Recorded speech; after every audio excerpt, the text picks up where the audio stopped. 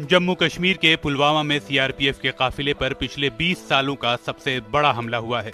फिदाइन हमले में सीआरपीएफ के कम से कम 30 जवान शहीद हुए हैं, जबकि 45 से ज़्यादा घायल हैं।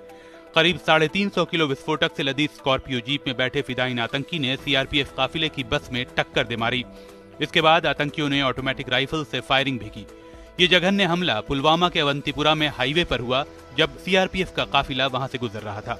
इस हमले के बाद दक्षिण कश्मीर में हाई अलर्ट जारी कर दिया गया है। आतंकी संगठन जैश ए मोहम्मद ने इस घटना की ज़िम्मेदारी ली है।